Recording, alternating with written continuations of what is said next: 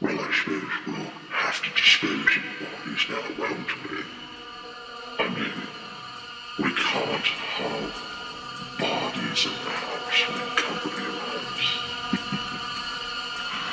what to do? What to do?